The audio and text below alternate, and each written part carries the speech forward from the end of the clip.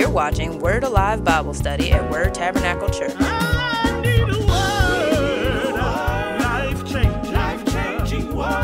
A place of relevant ministry where relationships are built, needs are met, purpose is fulfilled, and God is enjoyed. Join us now as we get stronger, grow deeper, and go higher. Stronger, deeper, and higher every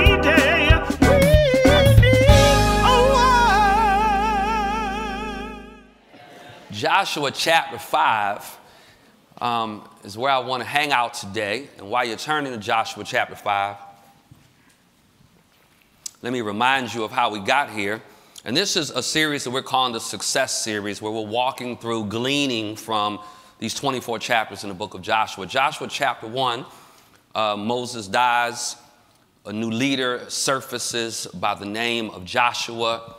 He takes on command of Israel. Joshua chapter 2, Joshua commissions two spies to go check out the land, especially Jericho.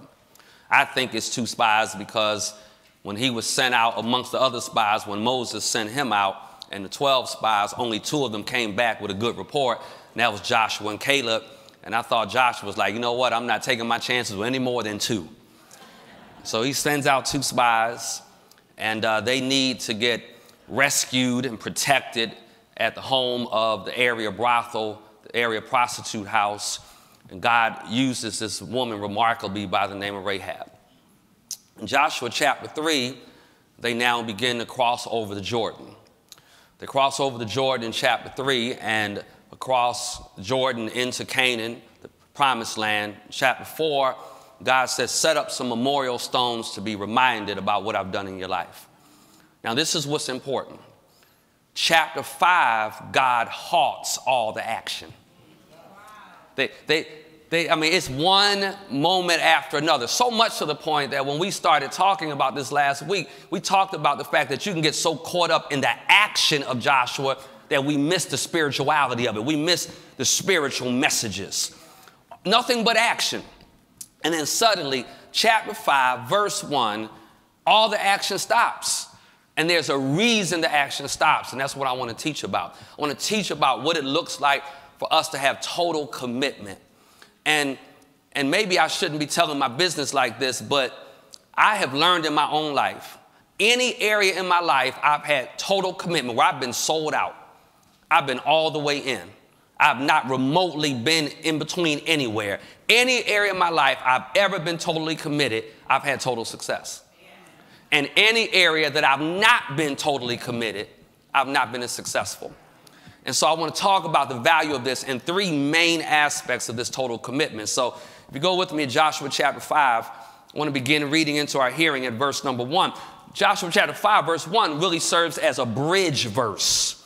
It serves as a bridge verse, bridging the end of chapter 4 to the new activity now in chapter 5. Now, remember, chapter 4, even, chapter 4 at the very end, um, we're told in verse number 17, I'm, I'm, sorry, yeah, chapter 4 at the end, uh, beginning at verse number 24, God says, I'm doing all this so that all the peoples of the earth may know that the hand of the Lord is mighty, that you may fear the Lord your God forever. Now, here's the bridge verse. God says, I'm doing all this because I want folk knowing I've got power. Immediately, we have evidence that what God asked for happens. Because the bridge verse, chapter 5, verse 1. As soon as all the kings of the Amorites who were beyond the Jordan to the west, and all the kings of the Canaanites who were by the sea, heard that the Lord had dried up the waters of the Jordan for the people of Israel until they had crossed over, their hearts melted, and there was no longer any spirit in them because of the people of Israel. Now, this is very important. These are enemies. These are not people that are friendly to the cause of the children of Israel now coming into their territory. Let me tell you why this matters. Because Joshua, being a good commander, he would be like, man, you know what? This is the time to attack. We have rhythm, we have momentum, we have confidence and evidence, confirmation about what God is able to do. This is the time. We need to pounce them, we need to get them. God stops all the action. And he does something that's mind boggling. He says, chapter chapter 5, verse 2. At that time, the Lord said to Joshua, Make flint knives and circumcise the sons of Israel a second time. All the men are like, mm. As a man, there's some scriptures just hard to read. just, it just, you kind of reading and wincing at the same time. So, so Joshua made flint knives. Now, it almost sounds like they're being circumcised the same man a second time. That's not really what's being communicated at all. So let's look at what it says. So Joshua made flint knives and circumcised the sons of Israel at Gibeath Haaraloth. And this is the reason why Joshua circumcised them. All the males of the people who came out of Egypt, all the men of war, had died in the wilderness on the way after they had come out of Egypt. Though all the people who came out had been circumcised, yet all the people who were born on the way in the wilderness after they had come out of Egypt had not been circumcised. Let me stop right there. Though this is mind boggling, God is like, don't worry about the kings and the other people you got to fight. You got them. You're going to beat them. I've already told you that. The issue is, I can't have you going into the promised land not having kept the covenant I told you to keep. So the issue is not your enemies. The issue is, are you as committed to me as you need to be? And that's what I want to talk about this total commitment that we've got to make. So let me say a couple things by way of introduction. First thing that I want to just, just to kind of get this all set up by way of introduction is that number one, I want us to make this declaration. I want nothing less than God's best for my life. Y'all, and I want you to rehearse that thing in your spirit. Let's say it together one more time. I want nothing less than God's best for my life. This is what he's communicating at the onset. Who you have become is not the best. I want your best. We're going through this as a church right now, that what God is doing in our lives is going to require the best version of us. Most people fail because what they give is not their best version. College students that should have 3.8s have 2.8s, not because they're not 3.8 worthy, but because they don't give their best self. People wind up making commitments and vows and then not honoring them and getting divorced because the couple did not both give their best version of themselves. When we give our best version of ourselves, something radically begins to happen. And this is that total commitment that he's talking about. We should want nothing less than absolutely God's best for us. We're going to see that play out in chapter 5. The, the second point to our introduction is that every call to success has a requirement. Every call to success requires two things. And let me tell you the two things that every call to success requires. Tell the person next to you, God wants you to be successful. You, but it's going to require something of us. Two things. First thing that we're going to see that it requires is it requires the cost of service. God does not want us successful and it all be about us there is a cost of success that says God is driving me to be of service to other people. It's always a cost to success relative to my cost of service to other people. But this is the real teaching point of Joshua chapter 5. It's also a crisis of surrender. I can't be successful until I properly navigate this season of this crisis of surrender. I've got to surrender myself. And I'm, I'm, I'm emotional today because it's our church birthday, you know, in a couple days. And so I've been thinking through the journey and thinking through the process. But one of the things that I can absolutely say without any fear of contradiction at all is that one of the reasons we've been successful is because there's been a group of people that have made up in their mind they're going to surrender to what the vision is and, and, and it's, it's no room for one foot in and one foot out. It's no, it's no warm, I gotta be hot or cold, I gotta be in or out. People, you gotta get in the game in order to be successful. Never one, think about it like this. I love, I love college basketball, I love sports in general, but particularly college basketball. And you know, we get all frustrated with these, particularly UNC's win record this year, but that's a whole nother story. But when we, whether it's UNC or Wake Forest or Duke or State, most of us, if we follow those teams, know their win record and loss record. Now, check this out. Every game has referees. What's the referee's win loss record? We don't even think about it because all we care about are the folk in the game, playing the game. This is what we got to be all the way in. And so there's this issue of a crisis to surrender. They are going to be confronted with that in just a moment in these first few verses. Now, this might be the best teaching point of the morning or the afternoon. Understand what chapter 5 represents. Chapter 5 is preparation for chapter 6. What happens in chapter 6? The walls of Jericho come down. But God says, in order, see, the issue is not the kings I'm going to give you dominion over. I got to get you totally committed to do the bigger work. Now, let me tell you what, why this is the best teaching point of our afternoon. Because the walls are going to come down in chapter 6. But walls fall only after wills fall. So if the wall, if the will doesn't fall in chapter 5, the wall doesn't fall in chapter 6. Teach Pastor Gary. And y'all, this is the big struggle for us. We want walls coming down, but we don't want our wills coming down. And so God is like, this is what you're going to do. You're going to halt the action. I've given you victory, yes. The, the kings are shaking over what I've done. But let me tell you what I'm going to do. I'm going to weaken every warrior. You take all the men that's going to fight, and I want you to circumcise them. Halt the action until your will gets right, because I got walls for you to conquer in the future.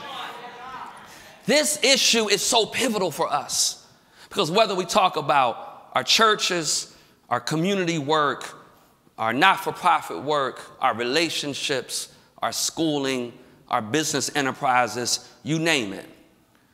The condition of my will is intimately tied to my ability to conquer walls.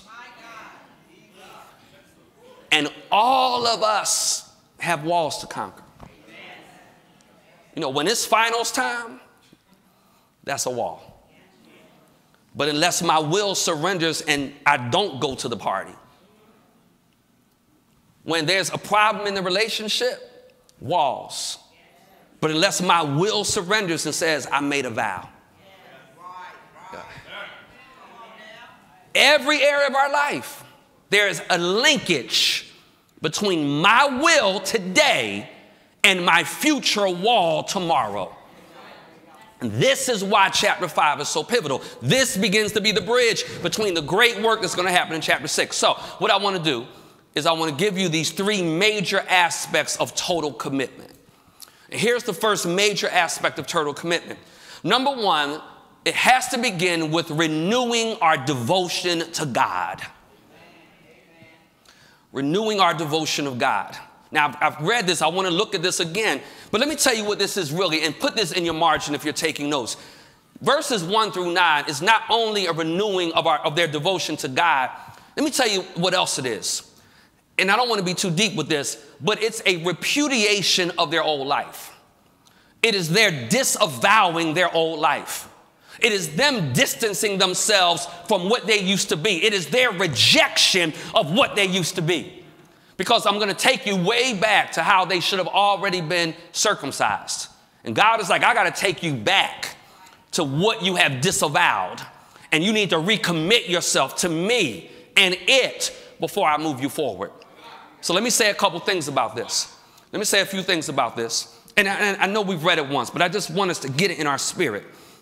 And so as soon as kings, so chapter 5, verse 1 is basically the kings, I mean, literally they are, they are just depressed over what God is doing. Chapter 5, verse 2, the Lord then speaks to Joshua, make some knives, circumcise the sons of Israel a second time. You know this reminds me of? I don't know how many of you had this experience, but when we were growing up, we used to have to go get what we were about to get whooped with. I don't know how many y'all had that experience. Just, you know, and if you had a if you had a smart attitude about it, you know, because mom would like go get me a switch. we come back with a twig. and then she ready to chop the tree down and hit you with it. it. So I'm thinking about these guys like I gotta make my own knife. Like I'm thinking about this struggle. Can you imagine what's going on in their mind? Man, you gotta make the knife you're about to get cut with. Now, it's a reason for that. And this is letter A to the point. The reason for that is that God is going to test the will and obedience of the people. There's always going to be moments where God is going to test whether or not you are committed. Why do you think folk get on your nerves at church? Have you ever realized that church folk get on your, your nerves worse than everybody else? But God needs to test your commitment. If folk can work your nerves and you leave, you're not committed. You know, so so he's gonna do something to test my will and my obedience. Are you willing to do what I want you to do? Because understand, we have crossed over now. And I could say, you know what? I'm just gonna take my chances and fight. I'm just gonna fight right now. God says, nope, stop the action. I wanna see if you're in with me. If you are totally committed to me. So watch what he does. Let me read a little bit more. So Joshua made flint knives and circumcised the sons of Israel. And that this is the reason. So, because none of them, all the male, none of them on the way of the wilderness. And I got to think of it. Can I just spiritualize this for just a moment? How many of us have continued on the journey out of covenant? They're born in the wilderness. That's part of the journey. But they were not circumcised, which was the first covenant requirement. And I think a whole lot of us want to be on the team, but we don't want to sacrifice anything. We, we want to be on the journey, but we don't really want to do the stuff that's needed that God said do to be successful. And God says, you know what? I'm stopping the action. Can I just, can we church talk this? Let me stop. No, you're not singing no more. You're not greeting no more. You're not going to work in the nursery no more. You're not doing, you're not going to be a youth investor no more. Stop the action until you honor the requirements of my relationship with you. Can you, can you imagine what, we, we hardly have anybody left. If God said, pump the brakes, stop the action, you don't tithe, you don't come to Bible study, all these folk that's not honoring the covenant, you can't participate anymore. Until you begin honoring the covenant. So let me say a second thing about this letter B. God then will require that we break the cycles of past disobedience. Some of you feeling a little funky about what I'm saying, particularly about tithing, so let me release you. What he's communicating is you got over and I kept you on the team. Now that you clearly hear what's right, do what's right.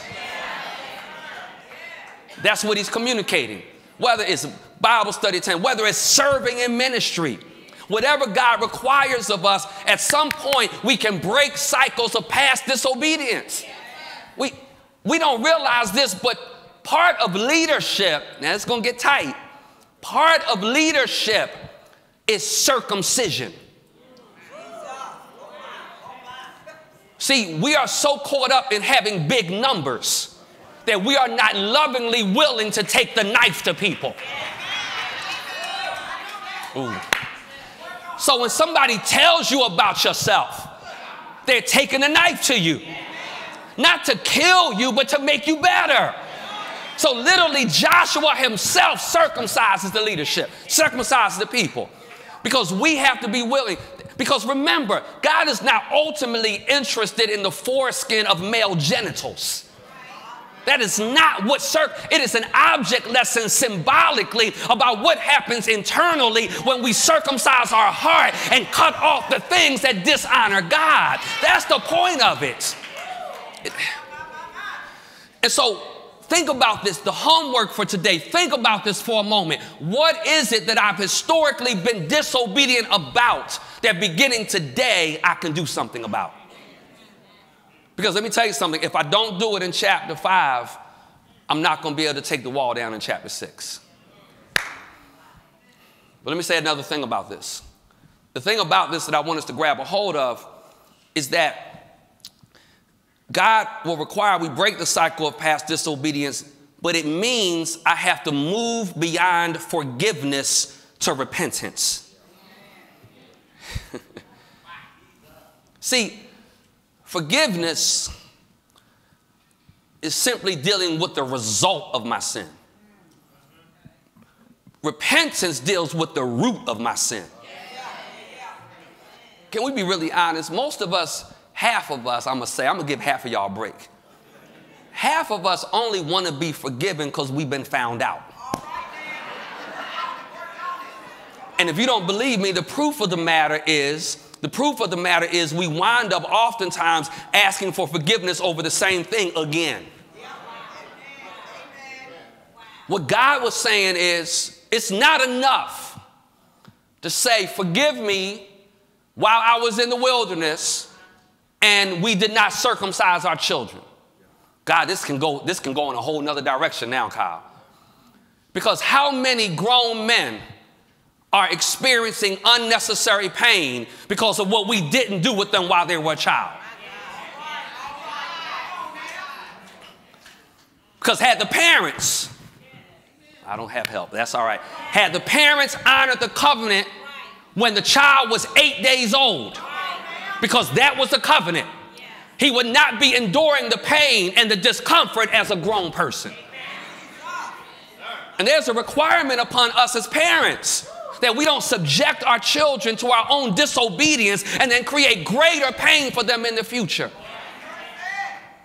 And so it requires not just enough to say, God, forgive us for what didn't happen in the wilderness. God is saying, no, real repentance is you're going to cut it. You're going to correct it. You're not going to keep running to me talking about forgive me. If you, if you want me to forgive you, get change it, fix it. So I've got to move beyond forgiveness to repentance. It's cutting away. Now let me let me keep going. Let me keep going because I want us to get the value of this. This issue of circumcision is, is cutting away whatever our flesh tends to exalt above God. Homework, homework. If I've got attitudes, disposition, people, anything, my job, my money, my profession, my ministry, my popularity, if any of it has been exalted higher than God, it needs to go. And we've got to have the willingness and the ability to take the knife to things that are higher than God is. This is what he's communicating about this issue of finally getting to real repentance and not just forgiveness. Let me say another thing about this. The other thing about this is there will be no circumcision without pain or wounds. Oh boy. Now, I want to park here for just a moment. We would be amazed what can happen in our lives if we are willing to endure some pain to allow us to overcome the things we didn't get right in our past. I think too oftentimes as believers, we want a no pain, no discomfort Christianity. We want this Christianity where, like, it's all easy and good. And sometimes, let me tell you something. We hold on sometimes to people and attitudes and dispositions simply because we don't want to go through the pain of living without them. And at some point, and I'm, you need to get this, we all need to get this in our spirit. I'm learning in my own life. The pain of staying like I am is far greater than the pain of me doing something to change. I want to I want to encourage somebody about this. You are already dealing with the greater pain. You think it's going to hurt worse to change? Let me tell you something. You're going to be surprised how much better your life is because you were willing to cut some things and some people off as opposed to just keep living less than. So here's the issue then. This is still about this making sure I'm clear about my commitment to God. Here's the issue. Letter E, I have to risk trusting God to the point of my own vulnerability. Get the image of what's going on. I know, men, you're having a hard time keeping up with me. I get it, I get it. But here's the image of what's going on. The very men that have victory in their own strength, so they think, God now causes them to become circumcised where they only can trust God with their own vulnerability. Most of us don't trust Him. Deep down inside, let me tell you what we do we trust our intellect. We trust our influence. We trust our answers. We trust our strength. We trust our spirituality. We trust our prayer life. Let me tell you something. Many of us have more faith in a prayer than we do God. Y'all catch that next week. We, God doesn't move because you pray. God moves because He God and has power. So I don't have to, we, we, we have this attitude of like, if I can just pray it the right way. You can pray the perfect prayer. It could be theologically sound, it could be honoring to the Lord, and nothing happened. And you could stumble over your words, barely able to get them out all right. And the Holy Ghost is like, I got you, I heard you, I'll take it from here. And what I don't know how to utter with my natural mouth, the Holy Ghost makes intercession for me and takes it back to God with interpretation. Can I park here just for a moment, just to remind you of the power that when you stumbling over all that stuff, literally the Holy Ghost is an interpreter. And he's going back to God the Father, like what he meant God was. Who he meant to mention God was. What his real struggle God was.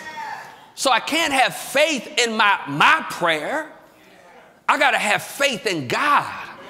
And oftentimes, until we risk vulnerability, this is a free word for anybody that ministers before people. Whether you're in a classroom, a pulpit, a women's group, a small group, a church of study, a Sunday school, please hear what I'm about to communicate to you. God is always speaking to us. The Holy Spirit is always giving us knowledge and wisdom. Most of us don't trust God enough to be obedient to what He said because it's going to appear to make me vulnerable.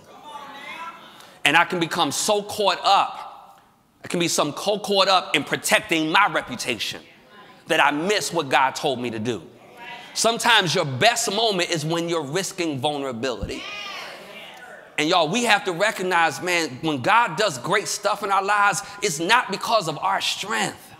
And it's not because of our power, it's my willingness to risk embarrassment, my willingness to risk looking stupid, my embarrassment, my willingness to risk people thinking I'm not on point. When you risk it like that, then God shows up and does great things.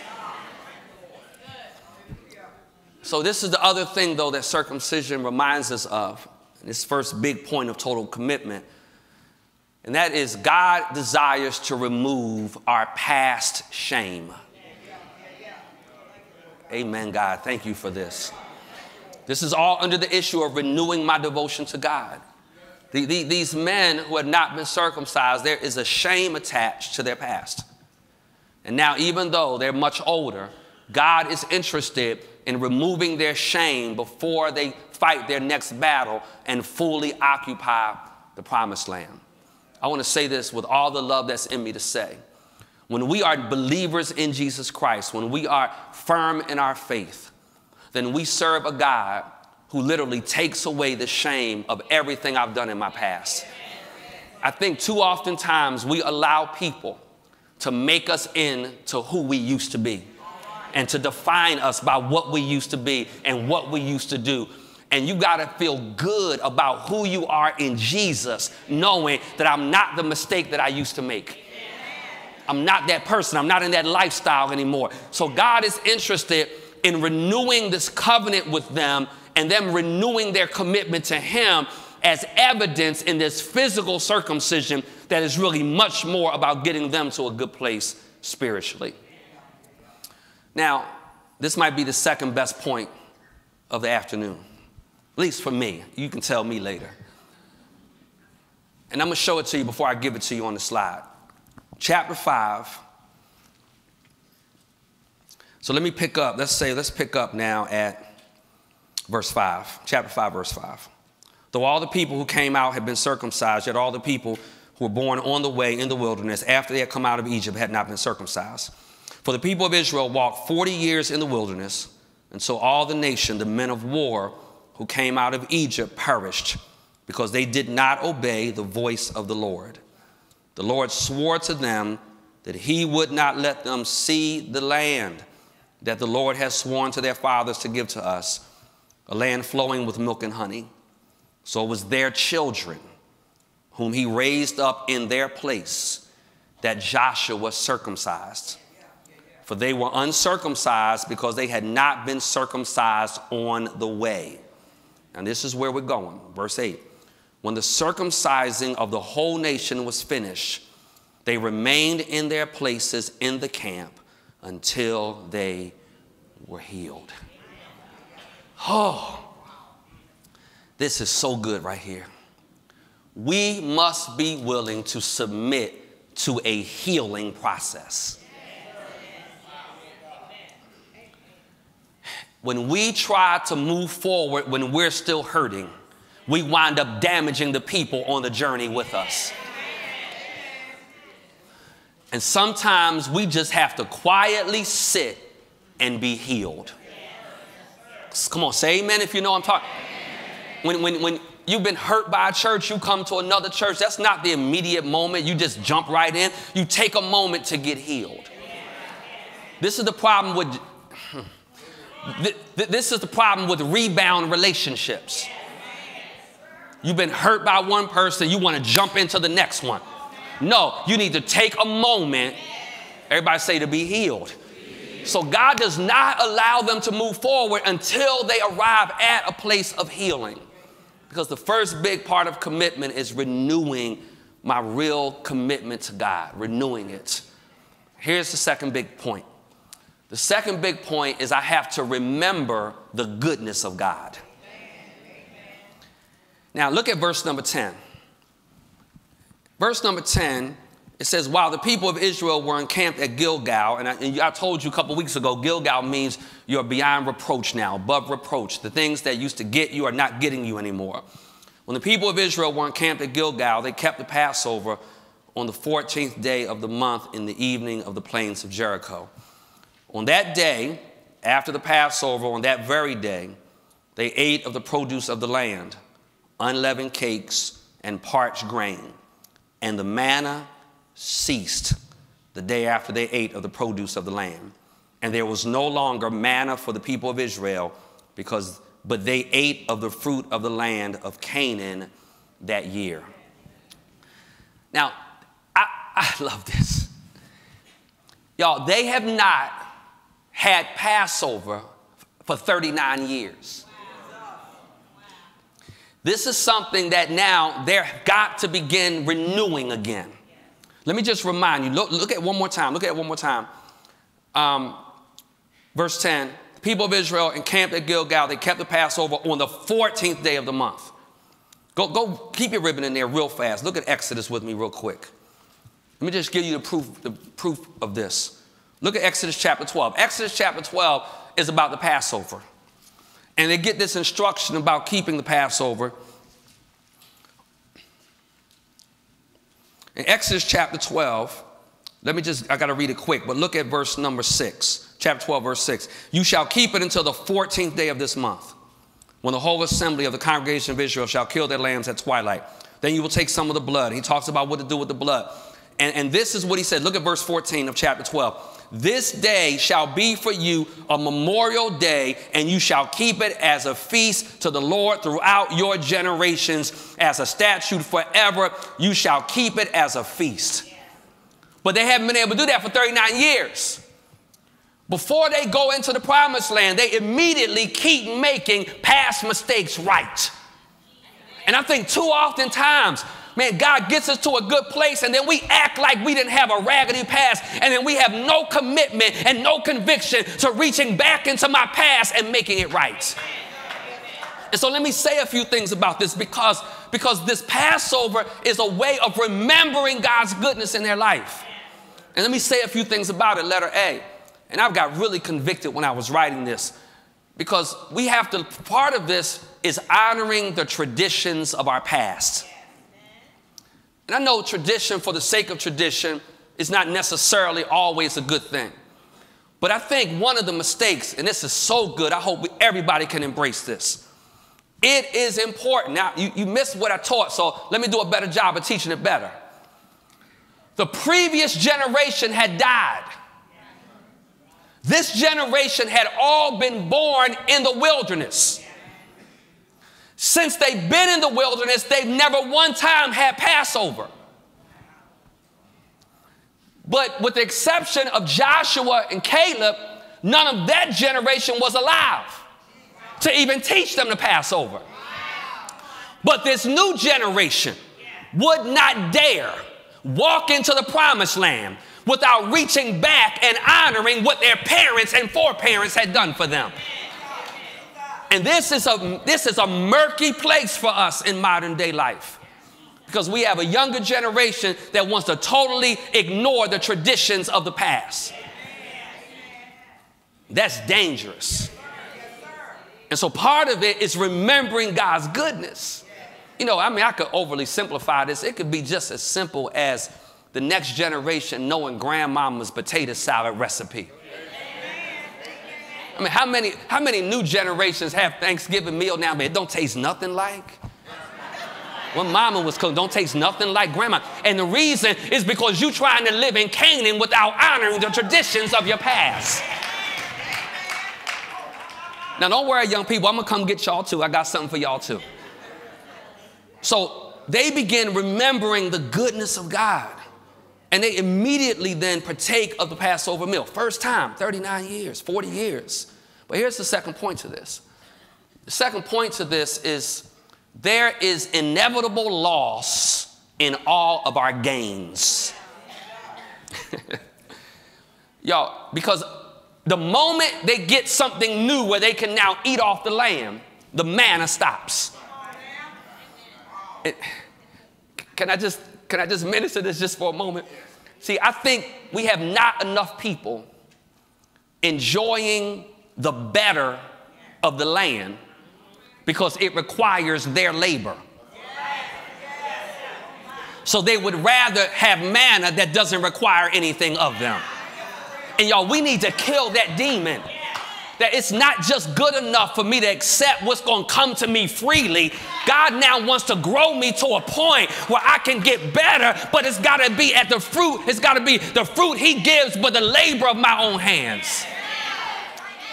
But in order to get that, it's going to require some loss. I'm going to lose the manna to get this. And this is the case of success that God will elevate us to places that will require, as he does a new thing, is going to require that he no longer does the old thing. While he introduces new people to work with me, it may require old people are no longer around.